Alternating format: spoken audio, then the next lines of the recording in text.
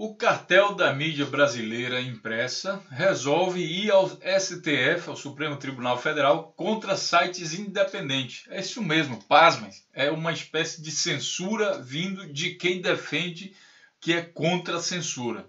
Quer entender? O cartel da mídia impressa, formado por jornalões, jornalões como Folha de São Paulo, Estado, Estadão e Globo, foi ao STF por meio da Associação Nacional de Jornais com pedido contra sites estrangeiros independentes. Caso seja atendida, a ação pode atingir sites estrangeiros com conteúdo em português, como é o País, BBC, RFI e The Intercept. Olha só, eu acho que o Intercept está causando incômodo a muita gente, que é um jornal muito bom, de muito boa qualidade em português e está denunciando muita coisa, assim como a gente aqui no canal Notícias Comentadas. A lei em si é ineficaz, uma vez que todos esses sites poderiam ter serviço em português, mesmo sediados em outros países. Os jornalões vão ao STF para excluir o El País, o BBC tá, tá, tá, e outros veículos estrangeiros do mercado. Jornalismo crítico, isento e independente incomoda, comentou o jornalista e professor Gabriel Prioli em seu Facebook.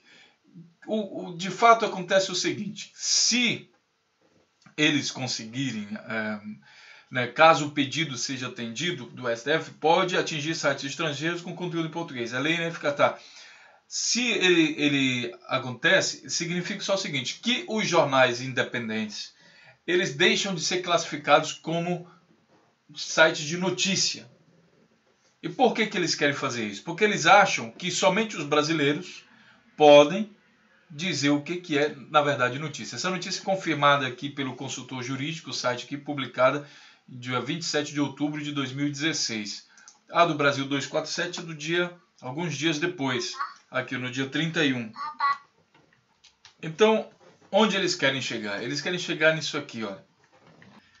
Eles vão usar de nacionalismo para tentar impor a censura. Olha aqui, a restrição à participação estrangeira no setor, segundo a entidade, teve por objetivo garantir que a informação produzida para brasileiros passasse por seleção e filtro de brasileiros. Agora, que brasileiros? Os brasileiros que eles defendem, que é justamente a associação aí deles. Entendem? O que, na verdade, é uma boa notícia, pessoal. Isso aqui, finalmente, vocês me pediram uma boa notícia, pois está bem, está aí uma boa notícia. O fato deles irem à justiça para tentar barrar esses sites né? E aí, quando o jornal deixa de ser qualificado como notícias, se você buscar na internet como notícia, você não depararia mais com eles. Então você estaria tirando os caras, diminuindo a quantidade de leitores que estão indo para lá. É, esse é o sentido da coisa. O fato deles tentarem fazer isso significa que jornais como o The Intercept Brasil, que estão há pouquíssimo tempo no mercado, mas têm uma qualidade muito boa, já estão incomodando. BBC, e os outros jornais também já estão comandando.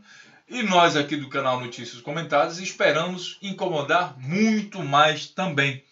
Vamos ver o que, que eles vão falar em relação a gente. Afinal de contas, somos também brasileiros. Que motivo ele daria para tentar barrar a gente? É, vamos lá. É isso aí. Deixe seu comentário. Gostaria de saber sua opinião e até a próxima notícia.